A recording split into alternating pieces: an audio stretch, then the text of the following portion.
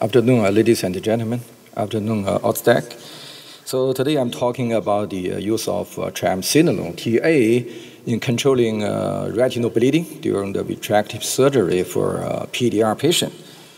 So before, everybody knows the, uh, we always use TA for the staining of the vitreous and epiretinal membrane during vitrectomy surgery, so we can see it clearly.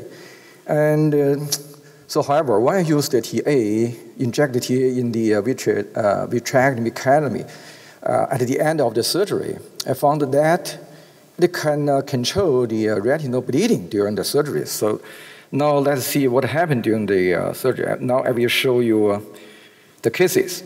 So this is the PDR patient, and at the beginning, we removed the vitreous hemorrhage and uh, peeling the epiretinal membrane, and then you can see the retinal bleeding.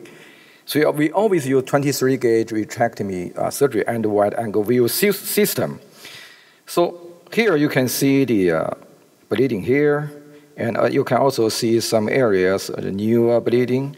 So at, at the end of vitrectomy, inject the uh, TA in the uh, vitreous cavity, and then you can see TA particle can adhere the uh, blood and form the clot and just cover the retina and especially for uh, the bleeding spot. And then you can do it clearly. You know, if, if, if the uh, if there are no more uh, TA particle and you cannot see the epiretinal membrane clearly, so here we just use the uh, vitrectomy cutter and uh, absorption, the uh, uh, TA particle and blood clot, and the cutter and absorbed, cutter and absorbed, and then finished. So let me see another case. Okay, okay, I'm sorry. Um, uh, okay, for, backward. Yes, this is another case. Um, first of all, we remove the uh, vitreous, and then we do the uh, vitrectomy and peeling and cut the epiretinal membrane. And at the, at the beginning, we do not inject TA, and then you see what happened. So when we peel this, this part, it's okay. And then we peel another side. So however, after we peeling the first part, you can see the hemorrhage will open, occurred this area. You see this area, hemorrhage. So we peel another side leave it there. Don't worry about the uh, hemorrhage. And then we inject the TA. Okay, we inject the TA. So you can see TA particle can uh, adhere the uh, blood and form the uh, very thick membrane. And then you just use the cutter to absorb and peel, absorb and cut. That's it. No more hemorrhage again.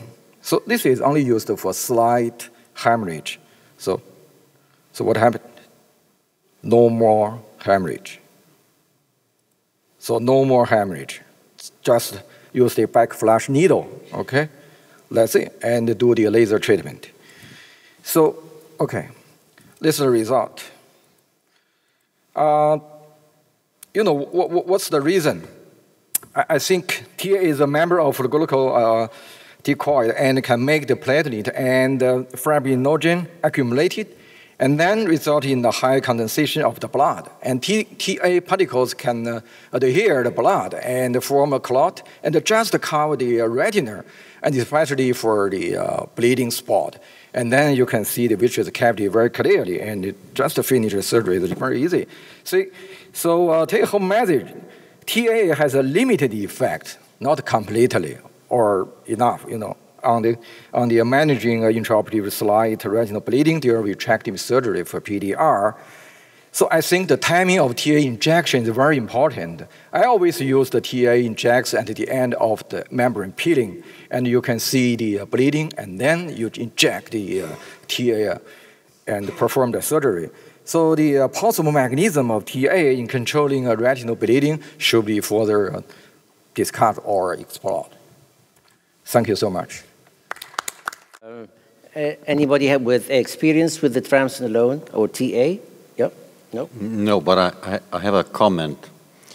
Uh, to me, because I also have a lot of these very difficult late cases with no previous laser, Uh, to me, the greatest blessing surgically in the last couple of years was giving preoperative Avastin injection, two, three days ideally before surgery. Bleeding risk is very close to zero. I always use the uh, inject the uh, uh, Lucentis, something or TA uh, just before the uh, surgery, maybe uh, five days or three days before the surgery. So, however, you know, uh, for some special patients, you know, Lucentis is very expensive, or sometimes you are very busy. So, if you perform the surgery after five days, you can see the proliferation or traction or retinal detachment. I think it's very dangerous. However, before the uh, Lucentis is useful for the active proliferation Yeah. patients. Okay, thank you very much.